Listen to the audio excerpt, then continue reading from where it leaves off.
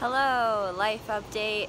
I've finally left the Minnesota, Wisconsin area after being lovely and graciously held there for what felt like weeks, you know, eons, lifetimes, and I have shifted westward as per my flow. I'm currently in Sioux Falls, South Dakota. Never been to South Dakota. It's pretty exciting. I've been eating like good ass vegan food just left the homestead I was being hosted on, but um, I'm not gonna do some lack thing where I'm like, oh no, no, I'm cut off from source and food and abundance. It's like, no, no, no. We're still eating good out here. Um, the other day I actually got paid my first ever like private chef catering gig um, because someone was just seeing how well I fed myself and like the people in my life and they were like, can I get some of that? And it's like, you know, you can get some of that. Like, it's for all of us. So that was really cool. Like, like checked it off, like, goal. So yeah, I'm in South Dakota. Um, there's a meditation happening tonight at 7 at like the falls around here. Come if you feel called to do that.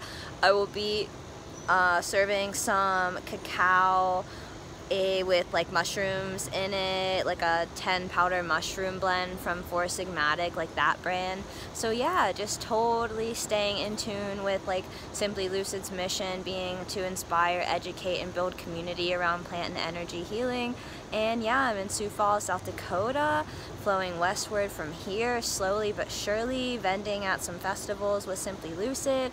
I did an event yesterday in the city at Sacred Space vending. It's really cool. I launched my new body care line. It has like a salt scrub, it has a oil in it, it has like body butter in it just because people were like, oh, like your skin or you're glowing or all of that stuff. And I was like, let me make products with that intention is to like hold, have you hold space for yourself so that you can glow and feel like a goddess, all ritual in your life and style and stuff like that. So yeah, just totally checking in. Much love to all of you. I also got like a massage chair in my life now, one of those portable ones, so I can be like on the scene, pop it out, do my work with people. But yeah, got my traveling apothecary, body work, energy healing, trying to stay up on the content creation and sharing. Some stuff is like sacred and I don't feel like sharing it, but then I do feel like sharing other stuff. So just big thanks to everyone who is following me on my journey.